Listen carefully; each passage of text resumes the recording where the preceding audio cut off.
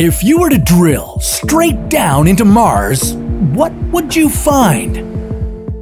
Would the red planet reveal its true colors?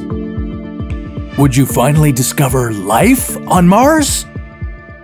And how would drilling through Mars compare to drilling on Earth? This is What If, and here's what would happen if we drilled through Mars. This is the Jezero crater on Mars. And three and a half billion years ago, it looked very different. It used to be an ancient river delta that carried clay minerals into the crater lake.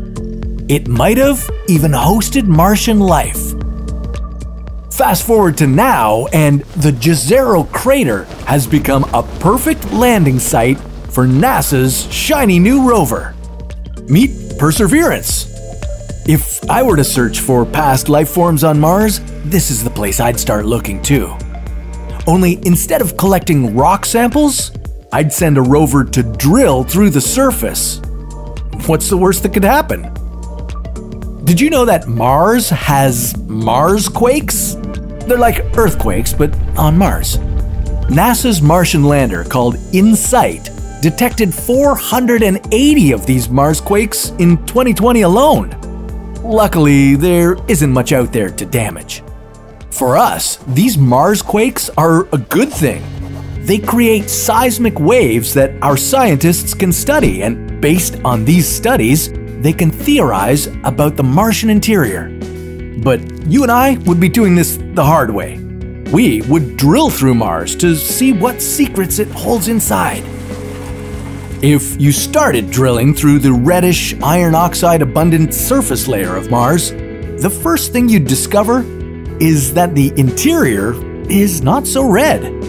But don't be surprised.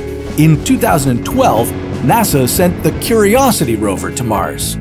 It landed about 3,700 kilometers from the Jezero crater. Curiosity discovered that the layer beneath the surface of Mars is slate blue? Yeah, that's because it contains high levels of silicon. Huh. And as you drill, you should continue to expect the unexpected. The next discovery you'd make is that the crust layer on Mars is thinner than the one on Earth. Remember InSight?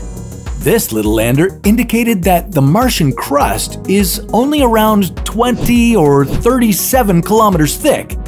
Compare that to the Earth's crust, which is approximately 40 to 50 kilometers thick under the continents. If water still exists in liquid form on Mars, it could be several kilometers inside this crust. And there are radioactive elements in the liquid mantle below the crust. These elements release geothermal heat through their decay, and it should be enough heat to melt thick sheets of subsurface ice. This geothermal heat could be why there was liquid water on Mars 4 billion years ago, even though the surface temperatures were below freezing. But enough theory, let's keep drilling. Boring through Mars would be even harder than drilling through Earth. The deepest we've ever drilled on Earth was 12.2 kilometers into its crust, and that came with high budget costs, technical difficulties, and plenty of bad luck. But on Mars, this would be an unimaginably tricky endeavor. The InSight lander tried drilling, but it encountered unexpected soil properties. The drill probe was trying to go 5 meters deep, but could only go a fraction of the distance before popping out. Then there was Curiosity. It experienced a mechanical error. The drill feed mechanism that was supposed to move the drill bit forward wasn't moving when commanded.